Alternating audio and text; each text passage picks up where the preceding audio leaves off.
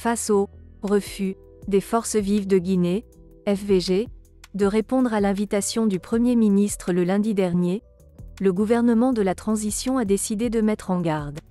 Dans un communiqué publié tard dans la nuit de ce mercredi 1er mars 2023, le Premier ministre a averti que la rigueur de la loi sera appliquée sur les auteurs du mot d'ordre en cas de violence.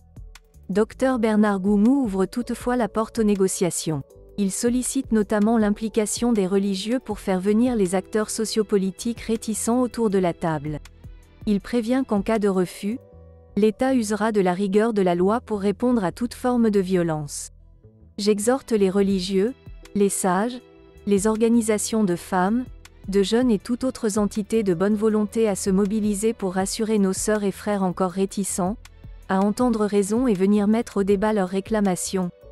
Peut-on lire dans ce communiqué de la primature qui est conclu par une mise en garde?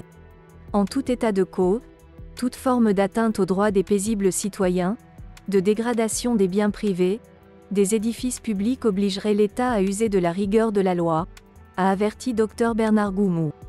Les forces vives de Guinée sont constituées par le Front national pour la défense de la Constitution, FNDC, le Forum des forces politiques, FFP, le Forum des forces sociales de Guinée, FFSG, l'Alliance nationale pour l'alternance démocratique, ANAD, le FNDC politique et le RPGAEC et alliés. Elles exigent notamment un dialogue présidé par la CDAO, la libération des acteurs sociaux détenus, le gel des poursuites judiciaires engagées contre des leaders politiques et la levée de l'interdiction des manifestations. C'est une information de nos confrères africaguinée.com.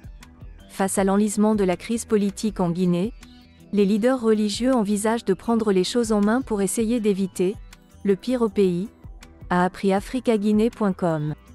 Dans la soirée de ce mercredi 1er mars, le Premier ministre a ouvertement sollicité l'implication de ces sages pour convaincre les acteurs sociaux et politiques encore réticents à rejoindre la table du dialogue.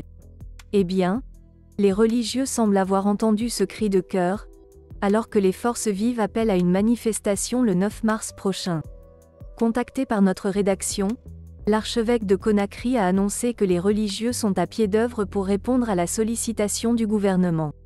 Au bout du fil, Monseigneur Vincent Koulibaly nous a confié qu'une concertation est prévue entre les religieux afin de définir la stratégie à adopter pour aborder ces acteurs sociopolitiques. On est en train d'envisager des concertations entre nous religieux d'abord avant de nous tourner vers eux, les membres des forces vives, NDLR. Parce qu'il faut qu'on ait le même langage, nous a brièvement confié l'archevêque de Conakry. Ces tractations dureront quelques jours, nuance toutefois un autre religieux. Le gouvernement quant à lui continue de manier le bâton et la carotte. Bien qu'il tend la main, il met en garde les forces vives de la Guinée. Toute forme d'atteinte aux droits des paisibles citoyens, de dégradation des biens privés, des édifices publics obligerait l'État à user de la rigueur de la loi, a averti Dr Bernard Goumou dans un communiqué publié ce mercredi.